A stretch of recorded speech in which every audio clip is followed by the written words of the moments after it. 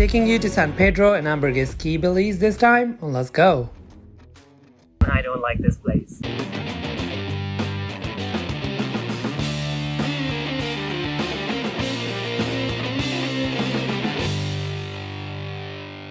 My journey to San Pedro and Ambergris Caye started from San Ignacio, and I took the bus, which took me through Belmopan, and I made a quick stop at the Belize Zoo. By the way, Belmopan is the capital of Belize and it's the smallest capital in the entire world.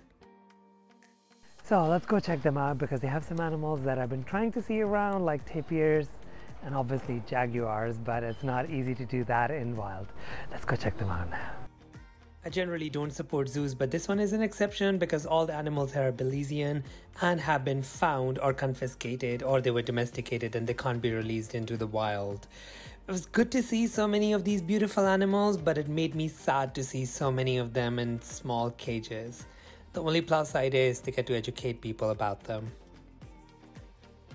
I spent a couple of hours in the zoo and then headed to Belize City, from where I took the ferry, which took me to San Pedro. The entire thing took about two and a half hours, and I would definitely recommend buying your tickets in advance for the ferry.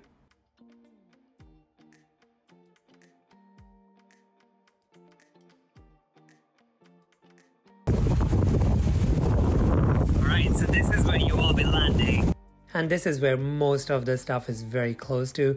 It's also probably the busiest spot in Ambergris Caye.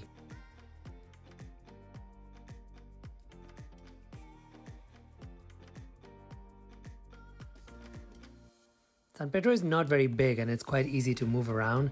There are quite a lot of restaurants, although most of them are quite pricey and touristy. And there are a lot of bars which make it a little bit annoying if you want to stay here. It gets really noisy till very late in the night. It is also a great place to look for tours for snorkeling and diving because most of the tour operators have their shops pretty much on the jetty. Golf carts, golf carts, and more golf carts. On the islands, you will need golf carts to move around do shop around because you can get one for 40 to 45 dollars a day. That's the only way you can move around. So yeah get yourself some golf carts. They're easy to drive.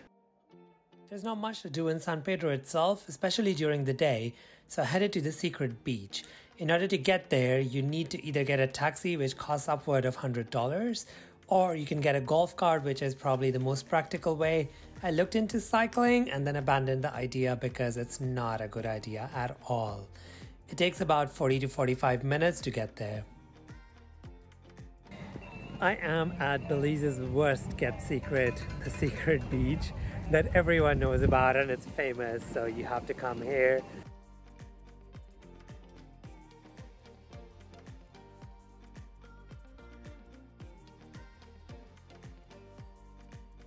secret sadly has been lost for quite some time now, judging by the number of bars there are. Some of them are actually quite loud. So I kept walking to the right hand side where I got a little cabana where I got to have some time to myself. On the left hand side, I got to a little bar where I just sat in the water on a little bench and ordered myself some drinks overlooking this beautiful shallow beach absolutely loved it for the rest of the day. So I think for that reason, Secret Beach is a must go. I wouldn't recommend staying in the main area in the bars because there were just too many screaming kids around, and while I really loved them, it was a little bit too much.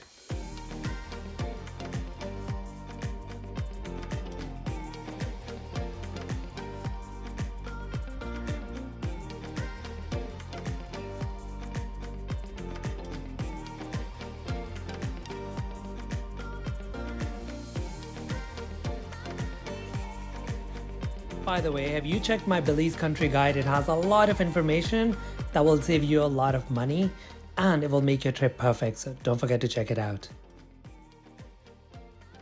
It is my third day here and I don't like this place at all.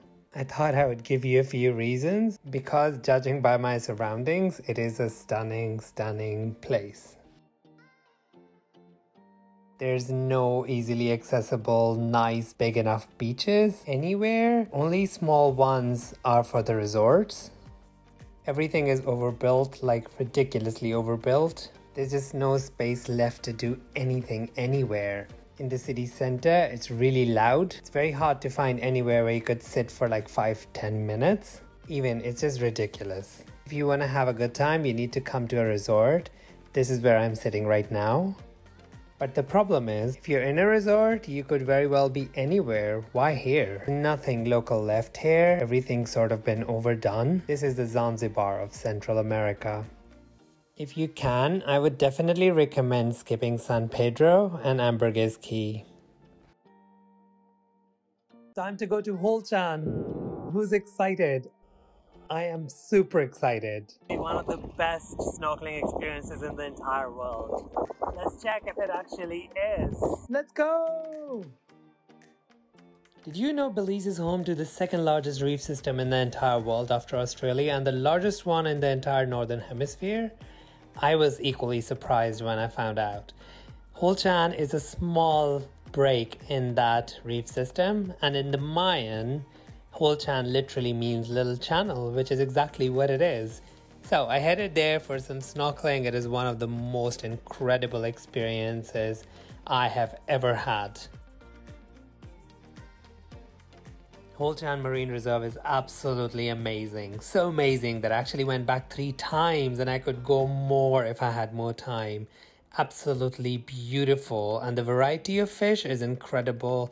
There are beautiful sea turtles as well as rays. I got to see four eagle rays together, a family, which I'd never seen anywhere else.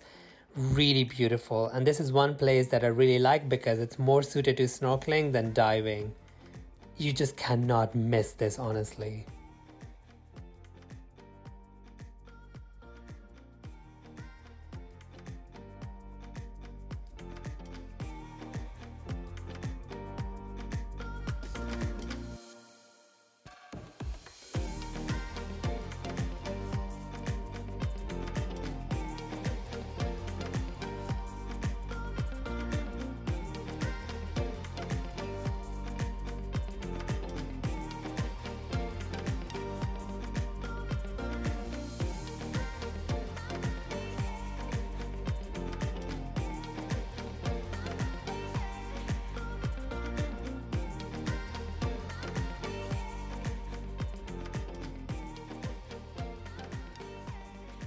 Pretty much every tour that you will get will also include a stop at the Shark Ray Alley, and this is where you will get to see some nurse sharks and stingrays.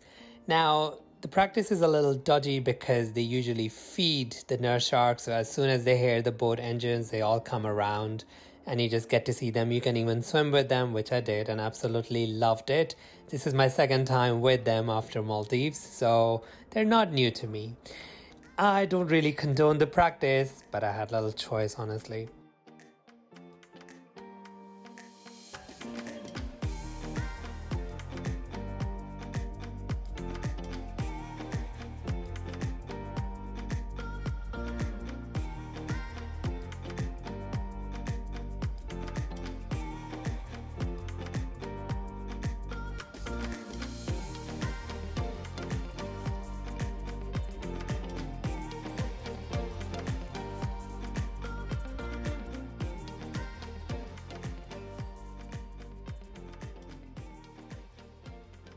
Good morning. It's a day to go see the blue hole. So let's go.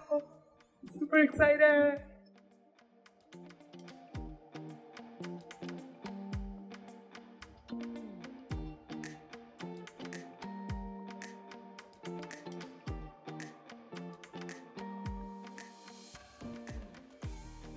Blue Hole is one of the most amazing things to do in Belize. It's not very close to San Pedro, it's actually in the Lighthouse Reef, but most of the tour operators actually leave from San Pedro. I went with Amigos Del Mar and had an amazing time.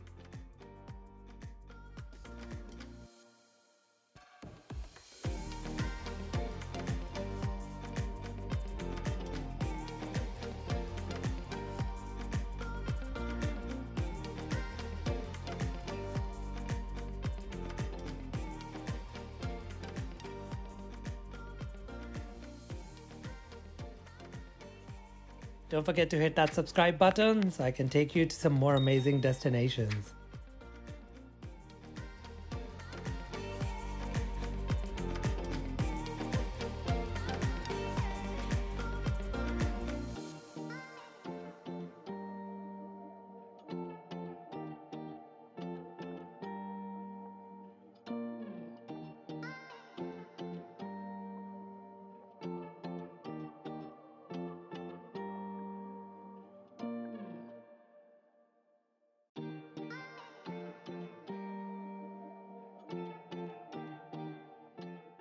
If you want to find out more details on how to explore this the best possible way, the link is above. Do check it out. I'm heading to the beautiful Key which is a lot more my vibe. So click the link above and meet me there. This is Brown Boy Travels. I really hope you liked this video. If you did, please do comment, like, subscribe, and share. And do let me know if you have any suggestions for your country. I would love to visit. I will see you in the next video. Until then, you have a beautiful day ahead.